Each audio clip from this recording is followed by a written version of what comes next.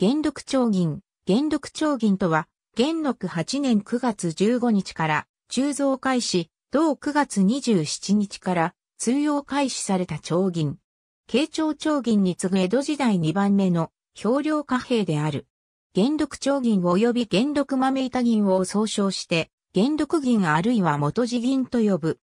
表面には、常、税及び、上ただし、宝の文字に加えて両端に、計2箇所の元文字の極印が打たれている。また、祝儀用とされる12面の大黒像刻印が打たれた12面大黒長銀も存在する。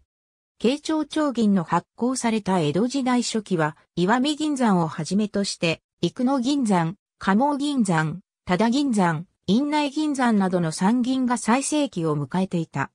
佐渡金山も、量的には銀山と呼ぶべき多量の銀を産した。この時代の国内産銀量は世界一、2位を争うものであり、キーと高麗人参などの貿易対価の支払いのため、多量の銀が中国、ポルトガル、オランダ及び朝鮮などに輸出された。荒井白石らの推定によれば、慶長6年から宝永5年までに国外に流出した長銀及び配布期銀は112万2687巻にも及んだという。このような多量の銀の海外流出が続いた上に、寛永年間を過ぎると産銀に陰りが見え始めた。さらに人口増加に加え、太平の世が続く中幕府は、将軍の代替わりや日光参拝などの行事がますます、カビとなり、加えて、生類やアレミの例による犬小屋建設など、出費が増加し、結果、経済が発展し全国的市場圏が形成され、通貨不足が顕著になってきた。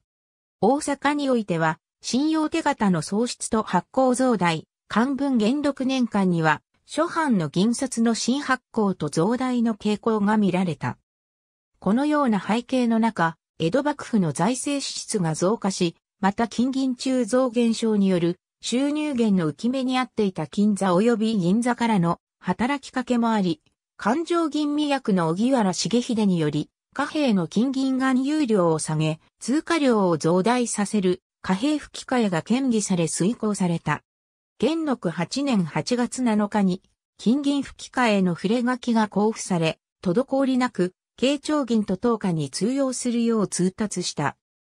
この吹き替えでは、世上通用の慶長銀を9銀に対し2%の増付をつけて、新銀と引き換えることにより回収し、この地金に作動して新銀の鋳造に供したが、旧銀の回収が思わしくなかったにもかかわらず、元禄11年12月以降は1.5%に引き下げられた。元禄8年8月7日に出された金銀海中に関する触れ書きは以下の通りであった。この吹き替えは貨幣鋳造の海中利益に対する運上を確実に収集し、また品位低下に関する機密保持のため統制を強化する目的で、元禄8年9月15日から、江戸本郷霊雲寺近くの大根畑に建てられた、吹所に、金座陣及び、銀座陣を集結させて行われた。本郷における貨幣鋳造は、吹所の火災により、元禄11年11月に終了し、銀座陣及び、銀座陣は京橋及び京都両替町に復帰した。慶長期は、貨幣鋳造用の地金は、主に新産銀により供給されたが、17世紀後半から衰退し、特に元禄期以降の産銀は著しく減少したため、旧貨幣の回収による吹き替えが主流となった。また、大阪城に残されていた豊臣氏の奮闘金銀や将軍家の南土金銀を加えて吹き替えの材料とされた。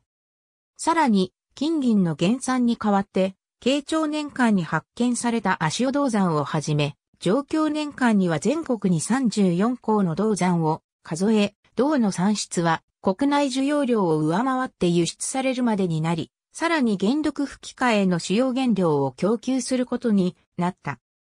全国的な市場の発達に見合うだけの通貨供給量拡大という名目のお触れであったが、明暦の大化復興は元より諸経費の増大による幕府の財政立て直しのための出目獲得が主な目的であった。しかし、新旧の金銀は等価通用と定められたため、商人らによる良質の慶長金銀の大蔵の横行で、旧銀の回収が進捗せず、金に対し銀の品位低下率が低いというアンバランスから金が敬遠され市場の長銀が不定指通貨供給量拡大とはつながらなかった。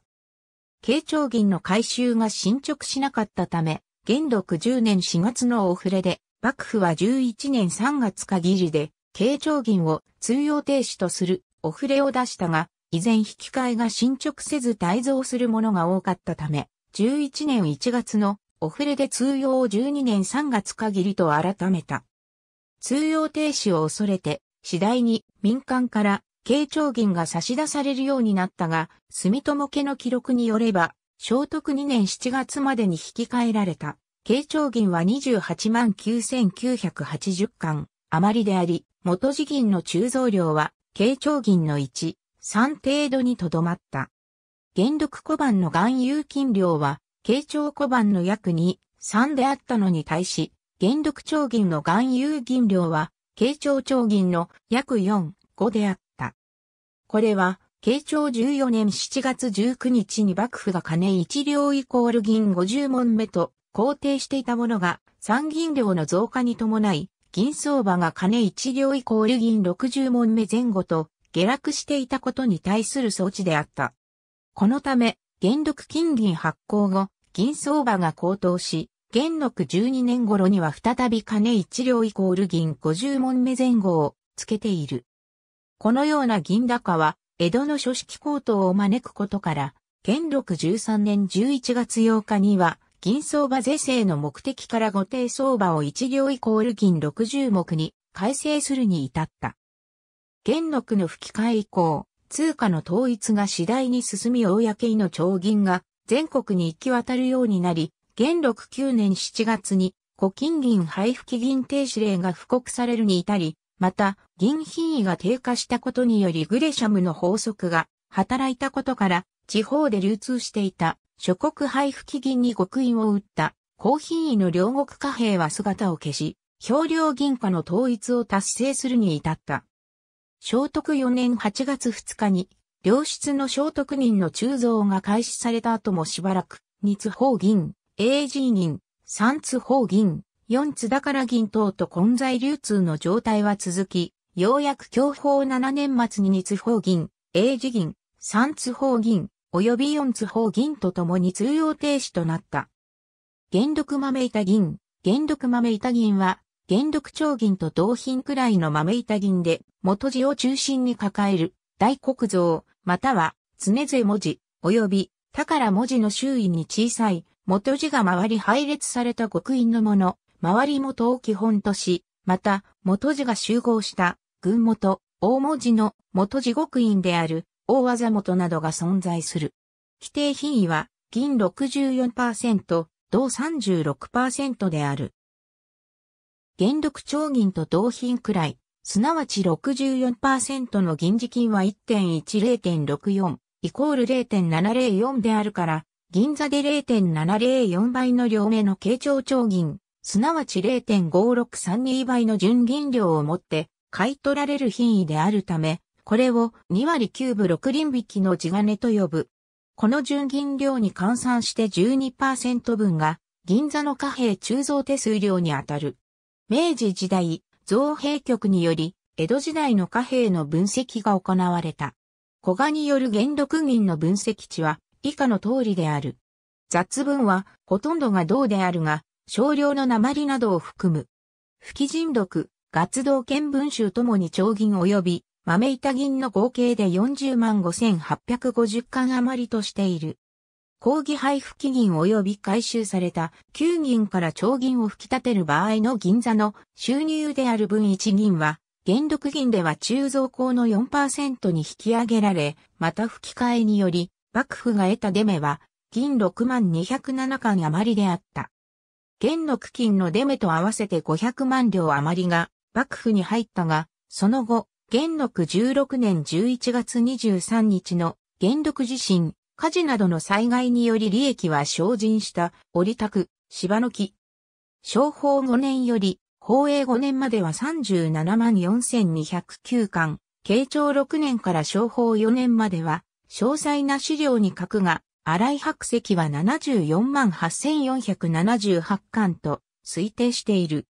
慶長銀の海外流出の考慮は必要。ありがとうございます。